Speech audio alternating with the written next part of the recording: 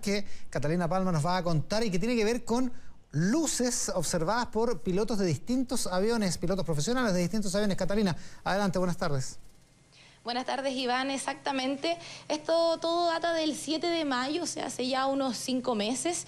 Eh, todo partió cuando el piloto del vuelo Copa 174 da aviso a la torre de control oceánico a las alturas de las costas de Antofagasta sobre, como tú bien decías, unas luces que estaban en su trayecto. El tema es que él tampoco fue el único que llamó y que avisó sobre esto y eh, esto involucra también a pilotos del vuelos de la aerolínea LAN, que también reportaban lo mismo. Eh, esto anda circulando en un audio eh, que está registrado en YouTube. No les quiero adelantar un poco más, así que escuchemos.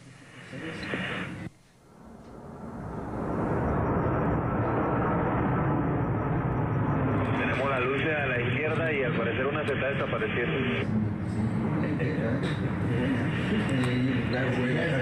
Afirmativo, está al parecer a la misma altitud de nosotros.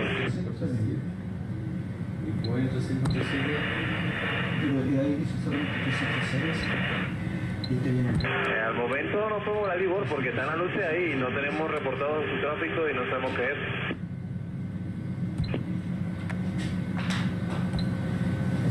Y al momento una luz desapareció, ahora solo queda una.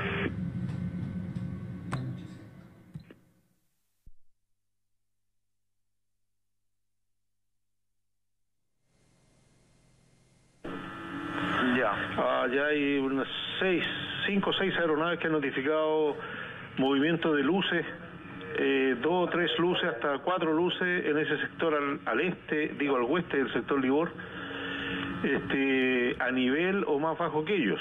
Y todavía se mantiene la situación, pasaron tres aeronaves que notificaron eso, de hecho una aeronave se desvió 30, 20 millas para para evitar el, el, nivel más o menos eh, 3, 320, 32 mil pies aproximadamente.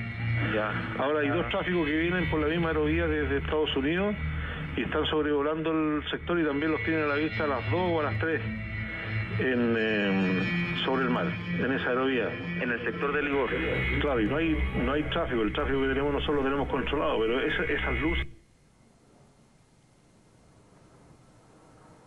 Libor es un puesto de control que se encuentra a unos 380 kilómetros en el cielo, cerca de las costas de Antofagasta.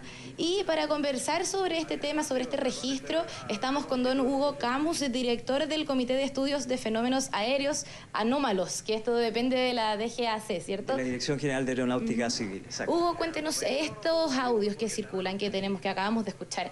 ¿Ustedes tenían eh, conocimiento de este caso? Nosotros sí, eh, tuvimos eh, un reporte.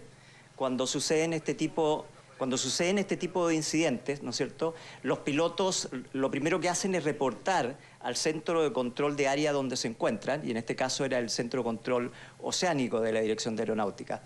Y luego ellos pueden hacer un reporte escrito, ¿no es cierto?, que lo pueden eh, conseguir en las oficinas ARO que hay en cada aeropuerto y aeródromo del país y también en nuestra página web www.cfa.gov.cl. ¿Esto es una especie de protocolo o es algo más como un sentido común que...? No, no, no. Es, eh, aquí hay un protocolo. Esto está, esto está normado, ¿no es cierto? Eh, la Dirección General de Aeronáutica Civil sabe exactamente lo que tienen que hacer nuestros controladores de tránsito aéreo cuando se presenta un incidente de este tipo.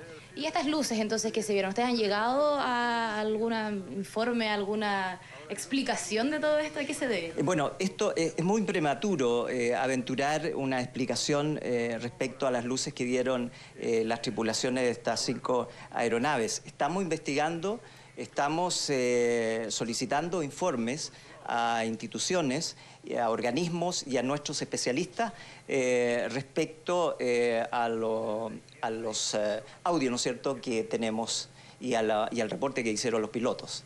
Iván, si quieres preguntar algo, Hugo te está escuchando. Ah, excelente, Hugo. Eh, eh, lo que llama más la atención aquí es que son distintas tripulaciones en distintos aviones y además son pilotos profesionales, o sea, es gente que está acostumbrada a esto. Em, los que reportan eh, la aparición de estas luces, supongo que ese es el hecho que motiva que esto se tome con seriedad y se investigue seriamente, ¿no? Así es, así es. Eh, los, eh, las tripulaciones, ¿no es cierto?, están acostumbradas eh, a volar mucho tiempo. Eh, a observar el cielo, ¿no es cierto?, y las rutas aéreas por las cuales se desplazan y son efectivamente son testigos eh, de muy alto nivel que nos, eh, digamos, que a nosotros nos hace pensar de que lo que ellos están reportando efectivamente es verdadero. Por lo tanto, da la impresión de que eh, no solo es verdadero que hay, hay, algo anómalo, sino que efectivamente se trata de alguna cuestión especial. ¿No hay ninguna hipótesis en que la DGAC esté trabajando respecto de lo que podría haber sido estas luces? Estamos, la verdad es que no descartamos absolutamente ninguna hipótesis porque este, eh, como usted comprenderá, ¿no es cierto?, eh, que se observen este tipo de fenómenos durante la madrugada eh, a, a, un nivel de vuelo sobre los, eh, los 11.000 pies de altura, es muy difícil conseguir información respecto a eso. Pero nosotros estamos trabajando, ¿no es cierto?, con informes que nos proporcionan los meteorólogos de la Dirección Meteorológica de Chile, eh, los informes que nos proporcionan los propios controladores de tránsito aéreo que estaban de turno esa noche y, por supuesto, los pilotos.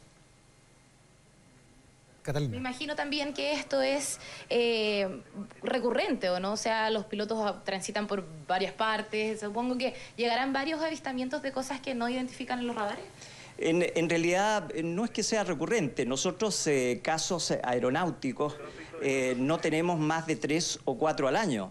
Este, así es que no es algo, no es allo digamos, que esté ocurriendo todos los días. Y entre las cosas que, se han dado como al final explicaciones, ¿cuáles son? ¿Cuál, ya sé que como nos dijo recién que no tienen algo todavía establecido, pero quizá algunas teorías eh, prematuras? Bueno, nosotros este, en los años de vida del Comité de Estudio de Fenómenos Aéreos Anómalos, que se inició el año 1997, este, hemos eh, investigado sobre los 800 casos eh, de este tipo de fenómenos aéreos anómalos y de esos 800 casos el 72%, un poquito más, un poquito menos, ¿no es cierto?, tienen una explicación. Y la explicación es que se trata de satélites, por ejemplo, satélites Iridium, la Estación Espacial Internacional, meteoritos, globos eh, meteorológicos, aeronaves, hasta aves, insectos o reflejos de cámara. ¿Cuándo es entonces el punto en que los pilotos dicen, ya, esto en verdad hay que preguntar, hay que avisar? Porque si no pasa tanto, tampoco sería como la primera opción. No, no, no. Los, los pilotos eh, tienen eh, la obligación de reportar todo lo que ellos encuentran en su aerovía o en su carretera, ¿no es cierto?, por las cuales se desplazan las aeronaves en el cielo. Entonces, ellos tienen la obligación de reportar cada incidente al centro de control de área por el cual están pasando. Sí, Hugo, independientemente de si eh, eh, reviste riesgo lo que están observando o no, porque da la impresión de que esto no es en sí mismo peligroso para las aeronaves que, los avistaron, ¿no? Qué buena esa, esa pregunta. Este, claro, mira, es, en realidad aquí hay que precisar lo siguiente. El, Comité de Estudio de Fenómenos Aéreos Anómalos tiene como misión reunir información de este tipo, ¿no es cierto? Analizarla, ¿no es cierto? Y difundirla. Pero el objetivo principal del Comité de Estudios es aportar a la seguridad de las operaciones aéreas en el territorio nacional. ¿Y por qué lo digo? Porque durante el año, ¿no es cierto? Por ejemplo, el año pasado hubo más de 500.000 operaciones aéreas en todo el país, entre Arica y la Antártica chilena. Y en, esos, eh, en esas 500.000 operaciones, ¿no es cierto?, participaron más de 20 millones de pasajeros. Nosotros, con nuestros estudios y, respecto a todos los servicios que presta, ¿no es cierto?, la Dirección General de Aeronáutica Civil, lo que estamos haciendo es asegurarle, ¿no es cierto?, a ese pasajero que está dentro de esos 20 millones, que pueda viajar confortablemente y seguramente por las rutas aéreas de nuestro país. Entonces, Hugo, estamos hablando de varios millones de operaciones durante estos 21 años en que está operando este, este grupo y de unos 800 casos, o sea, es muy poco respecto de la cantidad de, vuelos. Em, pero sí, de todas maneras, unos 200 están sin explicación, o sea, no, no se sabe lo que pasó ahí. Eh, exacto, y esta no es, y esto, eh, digamos, no es que nuestro país ostente esa, esa cifra de no explicados. Eh, nuestros símiles en, Europa, ¿no es cierto?, y en el resto de Sudamérica, también manejan cifras parecidas a las nuestras, que son entre un 4 y un 5% de, de situaciones, ¿no es cierto?, de fenómenos que no se logran explicar. Muy bien. conversábamos entonces con Hugo Camus, muchas gracias don Hugo, eh, para tratar de explicar, tratar de conversar sobre este avistamiento que habría ocurrido en las costas de Antofagasta, uno de los lugares que siempre eh, se ven objetos que eh, no, no, tienen alguna explicación. Una situación bien curiosa. Muchas gracias Catalina, muy buenas tardes.